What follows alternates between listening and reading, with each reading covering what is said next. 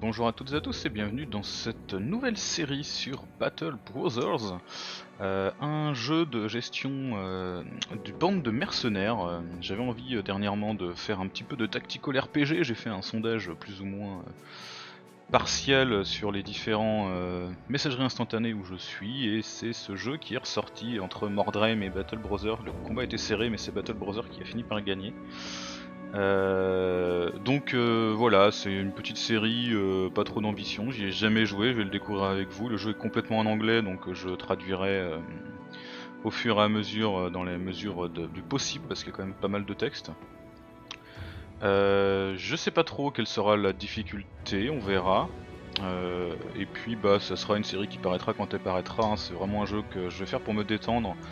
Et euh, comme visiblement il y avait l'air d'avoir des personnes intéressées quand même, je vais l'enregistrer, mais c'est euh, c'est vraiment à la fraîche quoi. Donc euh, notre bande s'appellera le bandeau du cygne, puisque comme vous avez pu le voir sur la vignette, et ben il y a un bandeau en bas. Donc voilà, ce sera le, le bandeau du cygne. La crise de fin de jeu, alors de ce que j'ai compris, à la fin, enfin à partir d'un certain moment, il y a une, des événements un peu badass qui se passent et il faut essayer d'y survivre. Euh, je vais le laisser en random. On va bien sûr euh, rester en permanente destruction, hein, c'est le truc par défaut, puis ça me paraît un peu plus réaliste.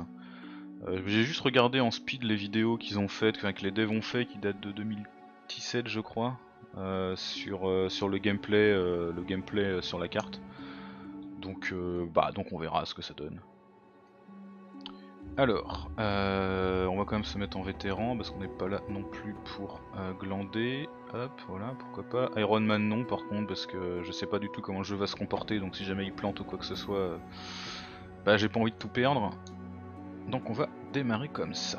Alors. Ok, donc les, euh, les clubs et les masses peuvent assommer ou incapaciter des cibles. C'est peut-être un peu fort le son. Ça va. Vous me direz si c'est un peu trop fort, euh, je, le, je le baisserai. Petit chargement.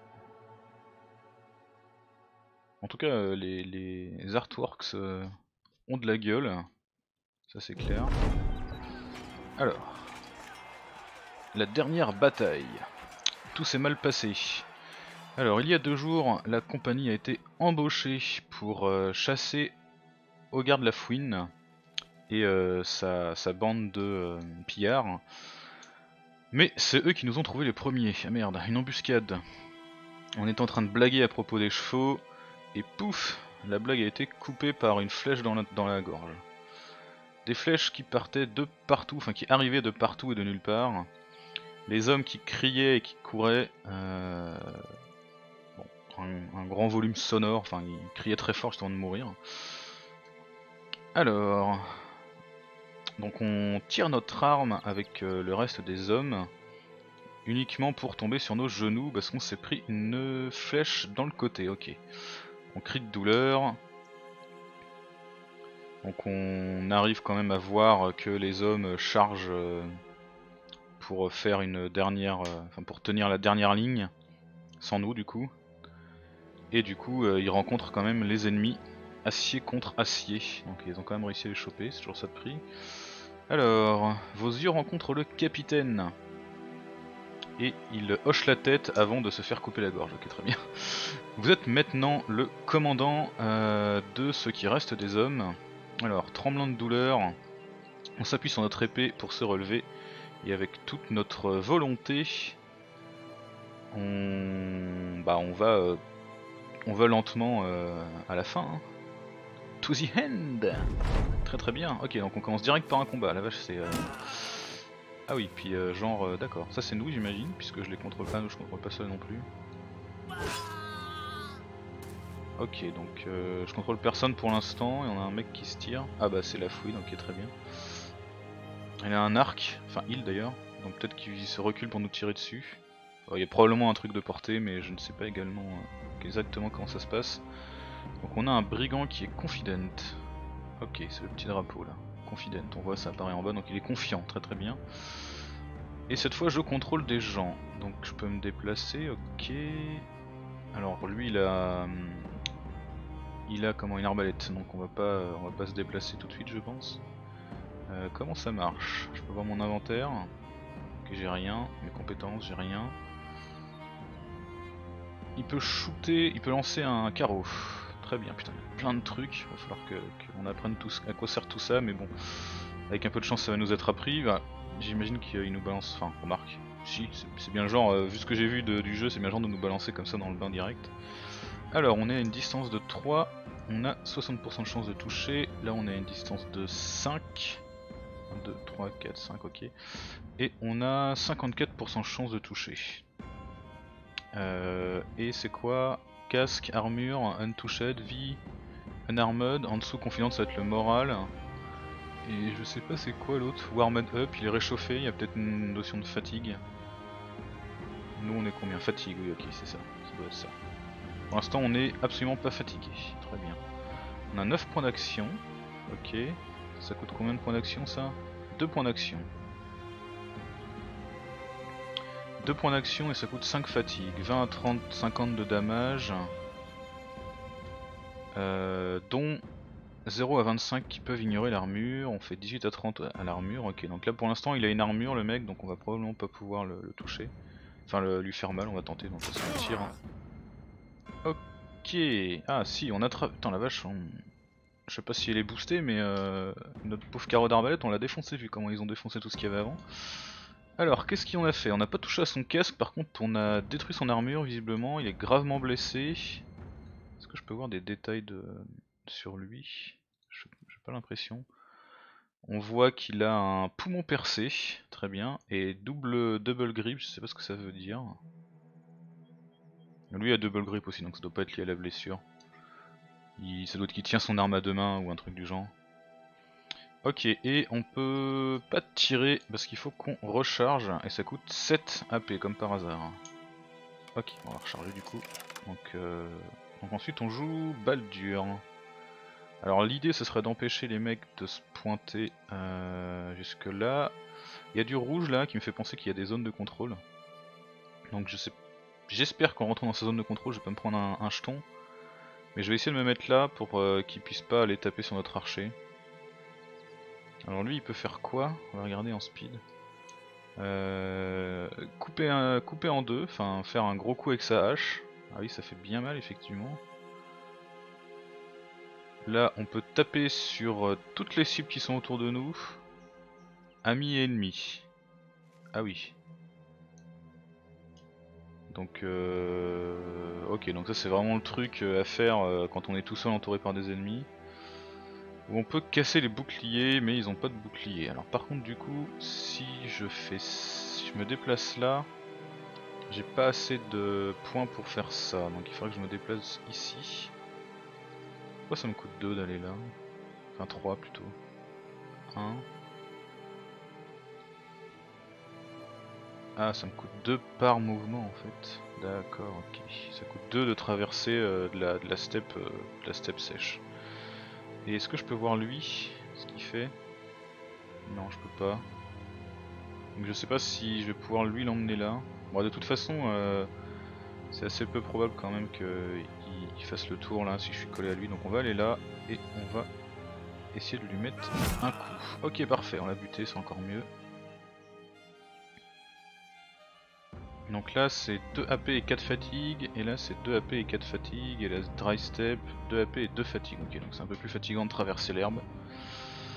Donc du coup toi t'as quoi? Euh, Un coup avec sa lance, ok. Un mur de pique. Ça fait quoi ça? On se prépare à attaquer immédiatement tous les opposants qui essayent de passer à portée de la mêlée, ok très bien. Donc là on peut repousser avec notre bouclier, on peut faire un mur de bouclier qui euh, améliore euh, qui améliore la défense en fait. Très bien. Donc j'imagine que si je vais jusque là, je peux rien faire, ça me coûte trop cher. Si je vais jusque là, je peux rien faire non plus. Ah c'est dommage, je me serais bien mis là pour faire un, mur là. Parce que lui euh, il peut passer par ici. Si je vais jusqu'ici, je peux faire un mur et si le mec passe par. Il va être obligé de contourner. je peux pas voir ces points de ces points là. Non je vais aller me mettre là. On va se mettre en, ligne devant euh, pour éviter qu'il se prenne un coup à tout prix. Et on termine le tour, ok. J'ai pas fait gaffe c'était quoi le bouton à côté. Ok on se fait taper ici. Et c'est nous qui jouons en premier. Donc déjà il est plus confident lui, hein. on, lui a, on lui a un peu fait flipper sa mère en putant son pote. Bon j'ai l'impression que le Weasel il s'est totalement tiré par contre. Il a laissé ses mecs euh, se faire buter. ça c'est des trucs de caméra, cacher les armes, ok. Euh... Ah on peut afficher ça, ça c'est intéressant ça. Il nous reste un opponent, on a trois alliés, on est round 2. Ah oui voilà, Hogar the Weasel has retreat. Ok, donc il s'est tiré, très bien, et eh ben c'est pas grave. On va faire en sorte de buter son dernier, son dernier mec. Euh, bah du coup euh, l'attaque classique. Hein. Ah, on l'a raté malheureusement. Euh, et ça coûte trop cher de faire la suite. on va attendre. On va voir ce qu'on peut faire d'autre. Alors lui, ça coûte 4 ça, hein, donc il peut en faire 2. Ah mais je suis pas au contact, bordel. Je suis pas dans sa zone de... Bon on va s'approcher. Et du coup on a pu assez malheureusement pour en faire deux, mais c'est pas grave.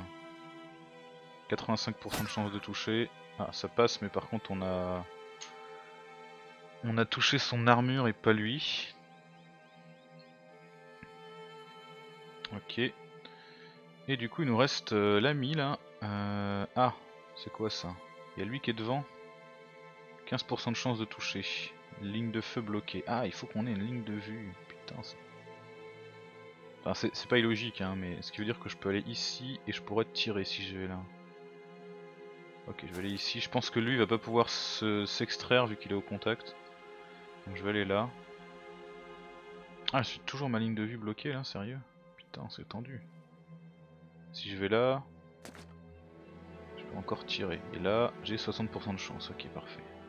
D'accord, donc euh, j'ai raté. Et eh ben, c'est la fête. Bah là, tour terminé, tour terminé, on peut rien faire de toute façon. Putain, il nous tape là. Donc là, faut qu'on recharge. On peut tirer. Si on pouvait réussir à le toucher, c'est cool. Putain, ça veut pas. Euh, on va pas le repousser parce que ça le dégagerait, donc on va continuer de le taper avec notre petite lance. Ça y est, il commence à... On a réussi à toucher sa jambe. On a, dû euh, détruire toute son armure. Et euh, Baldur là, euh, il commence à être un petit peu dans le mal aussi. Hein. Euh, ok, on a réussi cette fois. Donc là on est blessé. Deux jours pour être soigné. Ok très bien, blessure légère. Donc ça va. Du coup c'est lui qui a fait les deux kills. Là lui il a fait beaucoup de, dégâts sur son premier tir mais après il a été super mauvais. Hein. Au niveau du loot, on récupère une épée, on récupère un casque en cuir, ok, et un bludgeon, une grosse masse. Hop là, très bien, voyons voir. Alors, qu'est-ce qui se passe? Euh, Vous êtes en vie, vous avez gagné. Alors, l'adrénaline euh, disparaît et du coup on ne peut pas s'empêcher de tomber sur le sol, on serre les dents et on attrape euh, la flèche qui est dans notre, dans notre bide. Alors, notre euh, poitrine euh, bouge, on en chie pour respirer, tout devient flou. La compagnie a été détruite jusqu'à... enfin il n'y a plus que quelques hommes qui restent, j'ai pas l'expression qui me vient là. Et ce bâtard Dogart a euh, fait, bah, a rendu justice à son nom en s'enfuyant comme la fouine qu'il était. On a quelqu'un qui nous parle. Qu'est-ce qu'on fait maintenant, Captain Alors, une voix vous parle de dessus. C'est Baldur, l'ami Baldur. Baldur the Bloody. Il s'assoit à côté de nous. Et il pose sa hache ensanglantée sur ses jambes.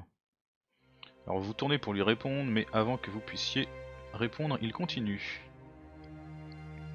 Alors, Bernards est mort. Ils lui ont coupé la gorge. J'imagine que c'était le capitaine du coup. C'était un homme bon et un sacré leader, un sacré chef. Mais tout ceci était... Euh, mais tout ce qu'il a fallu c'était une erreur. Ça fait de vous celui qui est en charge maintenant. On a Hildebert qui nous rejoint, et Gebhard également qui nous rejoint. Alors qu'est-ce qu'ils nous disent? On va euh, laisser de côté la cérémonie pour un autre jour. Euh, enterrons les hommes et retournons à, retournons à Krunhorm pour collecter notre paix. Après tout, on a réussi à buter tous les hommes de la fouine, et c'est vrai, je sais pas si notre contrat c'était de buter son équipe ou lui, mais en tout cas, il va falloir un petit peu de temps qu'il retrouve d'autres personnes. Euh, de plus, capitaine, on va devoir s'occuper de cette blessure avant de vous perdre vous aussi. Vous l'auriez pas laissé Hildebert in charge. Hildebert, j'ai pas fait gaffe lequel c'était, on va, apprendre les noms de notre équipe. Alors du coup, quoi ça ressemble? Donc on est sur la map, ici, il y a une pièce, donc c'est là qu'il faut qu'on retourne j'imagine. Là il n'y a pas de pièce. Ah la, la carte est balèze quand même. Hein. C'est pas plus mal. Ah ok, on peut utiliser euh, Shift pour euh, centrer sur notre groupe, c'est parfait. Donc du coup, on est en pause parce qu'on se déplace pas, on a des munitions, on a des, des marteaux, enfin des outils. On a de la bouffe, on a un peu de thunes, on n'a pas d'ambition, on a des pansements. Et on a trois hommes. Donc là on peut montrer les factions, on peut voir euh, qui est mort. Ok c'est ceux qui sont morts depuis qu'on a pris la commande. en même temps ça serait con de montrer ceux qui sont morts là.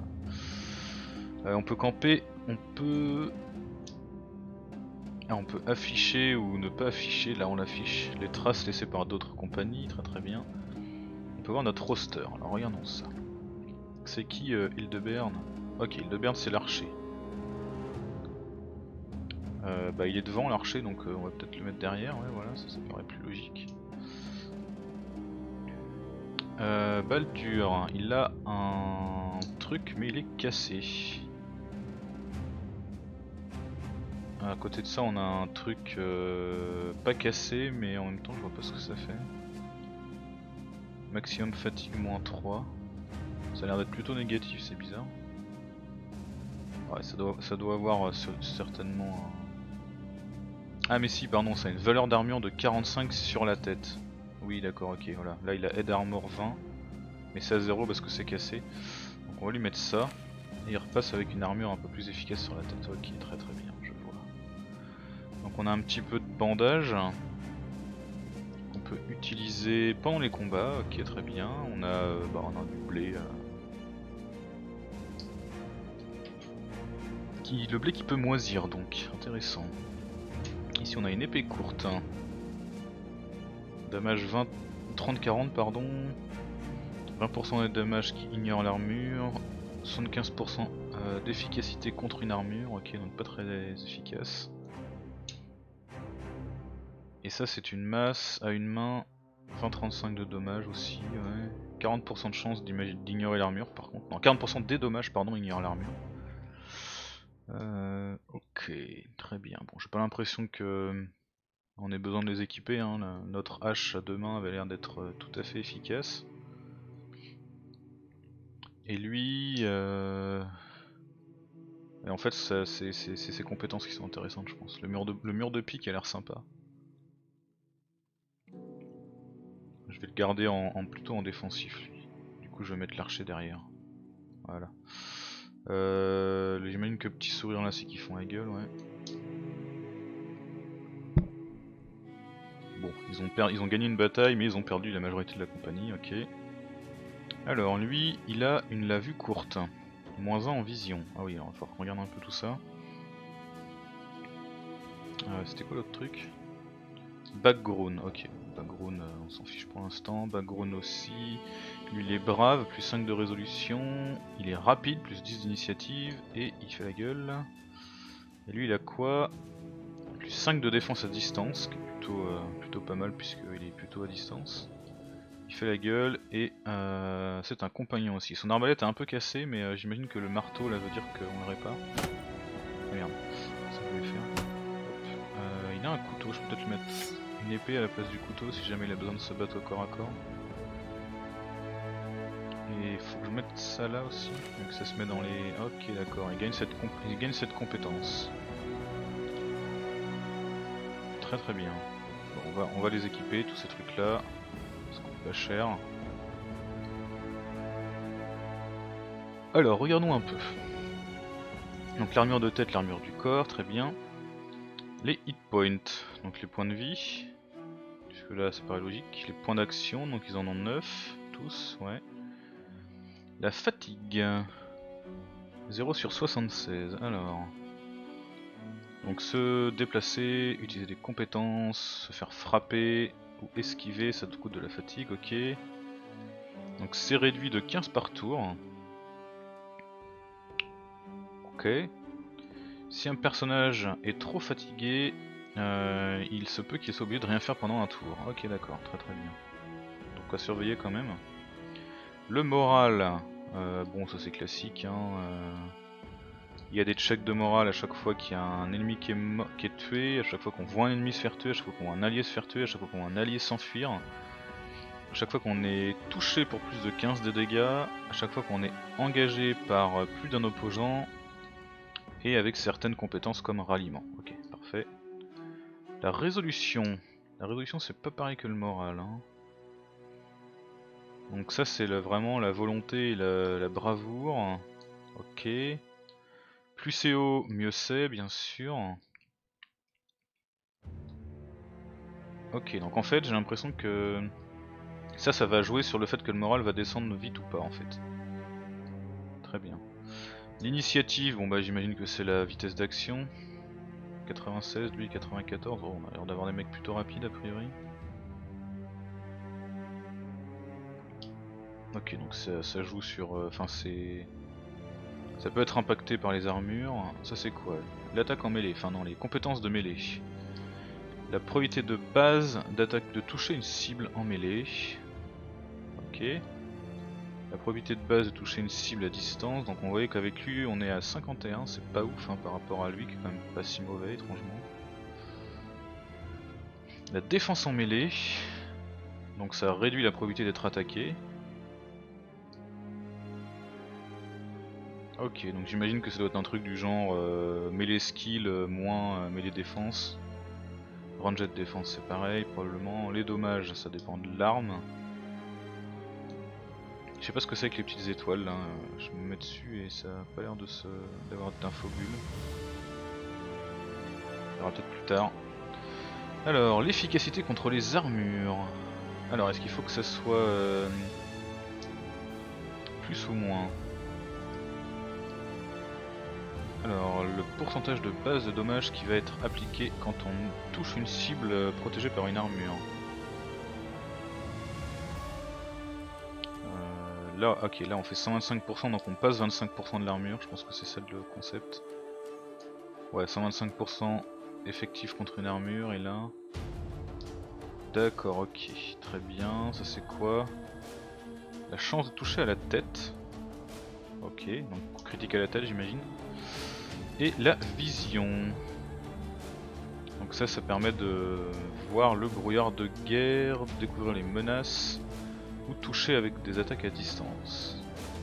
Et si on a des casques lourds, ça peut la réduire. Donc lui a 7, lui a 7 et lui a 6 parce qu'il a son, truc pourri là.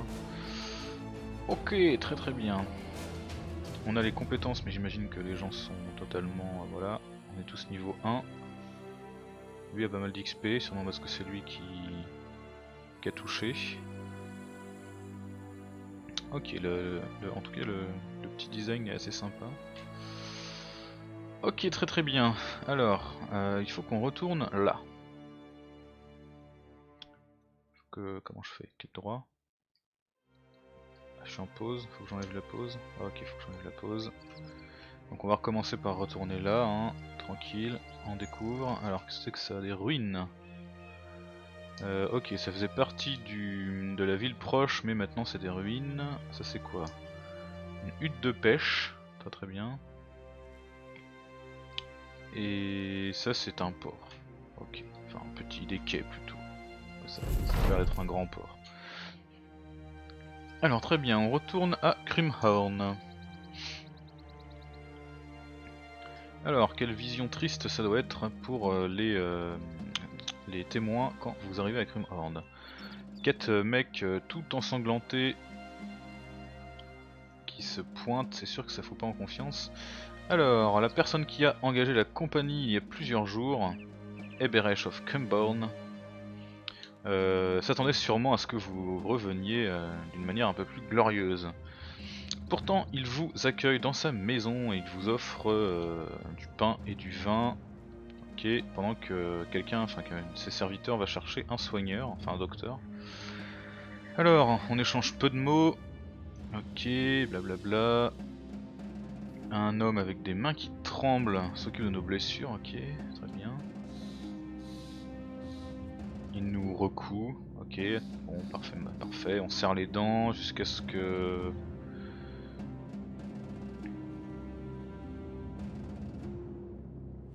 jusqu'à ce que vous entendiez, ah jusqu'à ce que vous entendiez quelqu'un rentrer. Donc Eberef se pointe, il s'assoit à côté de nous, il nous demande si on s'est occupé d'Ogart. On secoue la tête. On a tué tous ces hommes, mais euh, la fouille n'a réussi à nous échapper.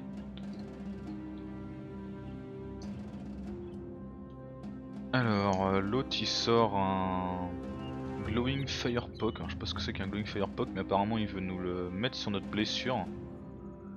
Euh, on le laisse faire, ok très bien.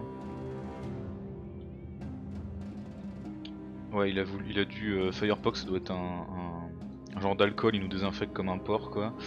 Donc pendant un moment on n'y voit plus rien euh, à part de la douleur. Le mec nous tend du vin, ok. Donc vous avez bien, vous avez bien travaillé mercenaires. Les brigands ont été supprimés, même si euh, c'est bien triste que Hogarth soit toujours en vie. On va dire qu'on va être payé. Donc euh, il sursaute, oui, bien sûr, 400 couronnes. Oui, donc il y a un serviteur qui va qui va chercher l'argent. Alors, je me demande, est-ce que je pourrais utiliser vos services une fois de plus? Donc il nous propose de nous payer 400 couronnes si jamais on, on arrive à s'occuper d'Ogart, ce pourrait être intéressant de se venger d'Ogart. Alors, Baldur le Bloody s'en tamponne, mais on a Gebart qui se met debout pour parler. Alors oui, la compagnie est en ruine, mais nous la reconstruirons. Alors, sans le bandeau du cygne, Baldur the Bloody euh, ne ferait que boire toutes les couronnes et terminerait euh, comment? Mendiant dans les rues, Hildebert, par tous les dieux, nous savons tous que euh, Woman il, il partirait chasser Woman Folk, je sais pas ce que c'est les. Ouais, je sais pas ce que c'est que Woman Folk, oh, désolé. Jusqu'à ce que l'un d'eux lui ramène, enfin lui coupe la tête. Nous avons besoin du bandeau du cygne, c'est tout ce que nous avons. Ok, très bien. Donc Baldur le Bloody, il nous, euh, il nous tend notre coupe. Et Hildebert, il joue avec ses pouces. Non, il... pardon. Il... Comment? Il masse son nez et il acquiesce. Donc on va accepter de, buter le mec. Hein. On n'est pas là pour glander. Alors, ok, il est content, je peux t'accélérer un peu dans la lecture parce que mine de rien, il y a quand même beaucoup de texte.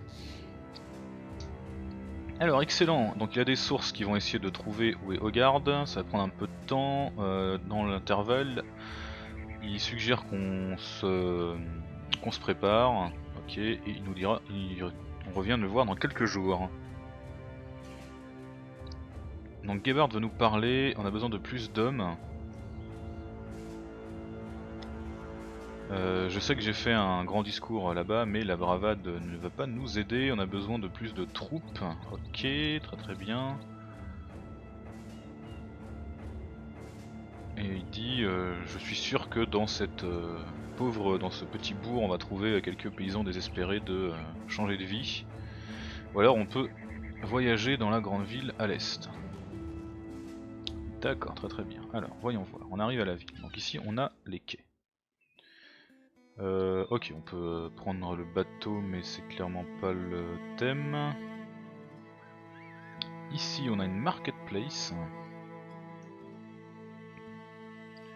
Donc on a du grain qui coûte 50 et qu'on achèterait pour 52, donc j'imagine qu'il doit y avoir une notion de... de... comment ça s'appelle? De marchandage, un peu comme dans Mountain Blade. On les achèterait euh, pas trop cher au final le poisson, sûrement parce qu'il y a beaucoup de poissons, ça vaut 70 et on l'achèterait pour 69. Euh, après il faudrait le vendre pour beaucoup. Là on voit que par exemple le pain 65, ça coûte 65, on l'achèterait pour 96. Des medical supply 200, ok ça pique.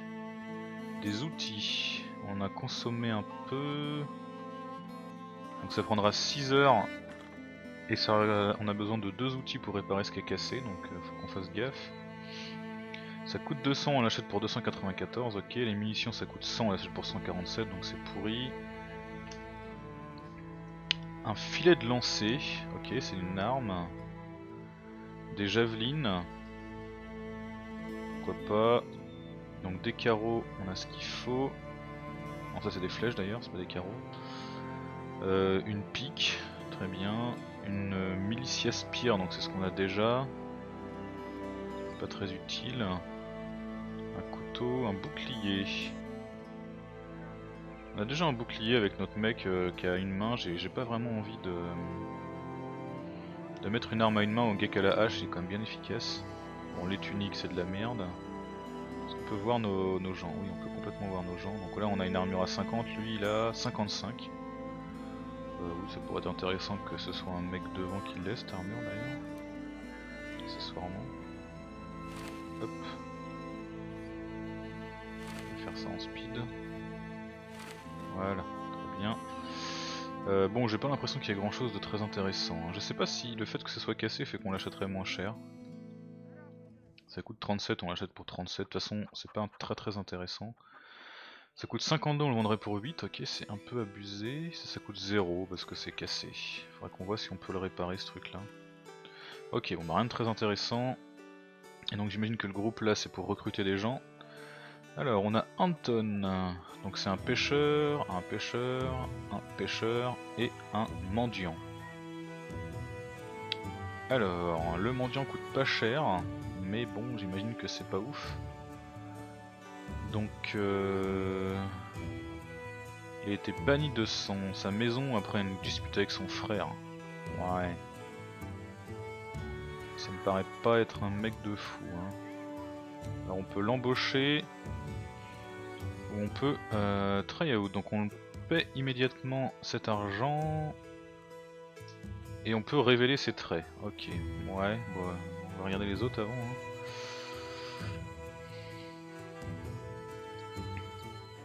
Donc ça c'est trois pêcheurs, je sais pas si... Ils ont pas tout à fait la même... Euh,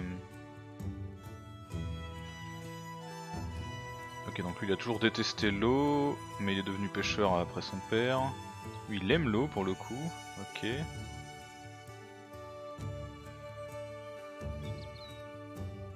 Donc lui c'est un pêcheur qui aime pêcher mais il est obligé de s'arrêter alors que lui c'est un pêcheur qui n'aime pas pêcher que du coup euh, il serait pas contre se tirer d'ici. Et lui, euh, pareil, son bateau, euh, son bateau a brûlé. Euh, bah lui, il coûte cher quand même. J'aimerais bien savoir. J'imagine que on peut se baser sur la thune là pour savoir l'importance des traits. Lui, ils, ont, ils sont a priori identiques, mais euh, lui euh, coûte 250 et lui 190, donc on va, on va essayer le, try-out pour voir là. Juste pour découvrir un peu. Hein. Donc lui, il, a, il est sans peur, plus 10 de résolution, par contre il est con, ce qui veut dire qu'il a moins 15 d'expérience, ok. Et lui... Alors lui, il a plus de vie, euh, mais par contre il est un petit peu coquille, euh, je sais pas trop ce que ça signifierait. Enthousiaste sûrement, moins 5 de défense en mêlée, moins 5 de défense à distance et plus 5 de résolution. Ouais donc effectivement je peux comprendre qu'ils sont un peu mieux. Euh, l'expérience c'est chaud quand même, hein, parce que globalement on va avoir un mec qui, euh, qui va être très clairement moins bon à la fin. On va embaucher lui. Voilà, donc ça nous fait un gars de plus. Donc il est arrivé avec quoi? Avec son filet de lancer, avec une tunique en cuir. Euh, on va lui filer ça. Et ça. Et du coup, il est content parce qu'il vient d'être embauché. Donc comme ça, on a... Alors, faut que je fasse aussi gaffe parce que... On a vu qu'on pouvait pas tirer s'il y avait des gens trop près, donc faut pas non plus qu'on soit trop trop... Euh...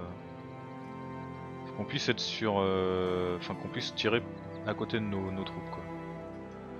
Donc c'est un Fisherman, ok. Pour l'instant il a pas d'armure de tête mais ça va venir. Il a une armure de corps un peu pourrie donc on va peut-être... Ouais quoi que non, ce serait pas mal que lui il se prenne pas des carreaux et qu'il se fasse buter donc on va quand même lui laisser une armure potable. Euh, Qu'est-ce qu'il a comme compétence du coup? Bâche. Donc ça inflige des dégâts de fatigue, ok. On peut essayer de knock-out, donc d'assommer 75% de chance de stun et on a notre euh, petit euh, filet qui, euh, qui met de la fatigue sur l'ennemi. Ok, pourquoi pas. Est-ce que je peux lui mettre un couteau? Non, je peux pas lui mettre de couteau dans la main. Et là du coup, est-ce qu'on pourrait pas trouver mieux Genre un bouclier? Coûte 37. Coûte 37 et il est, il est un peu cassé donc... On va le prendre, c'est pas cher, 37.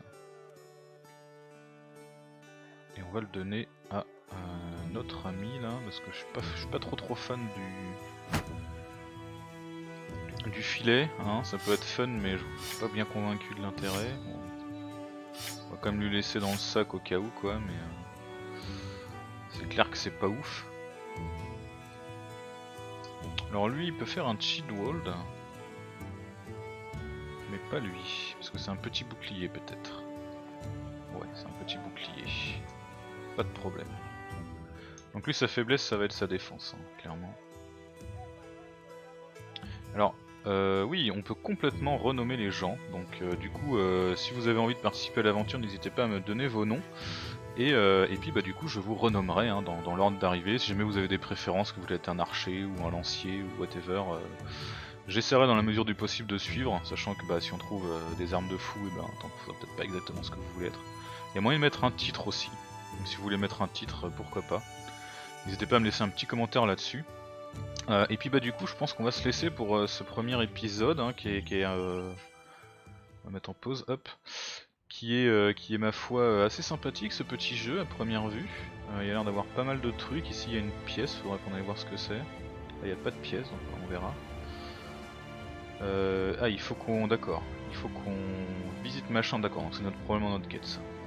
Ok, parfait. Donc on ira, on ira là-bas euh, le, prochain, euh, le prochain tour. En attendant, j'espère que cet épisode vous aura plu. Et du coup, eh bien, je vous dis à, très bientôt pour la suite. Hein. Je ne sais pas quand ça sera, mais à très bientôt pour la suite. Merci à toutes et à tous.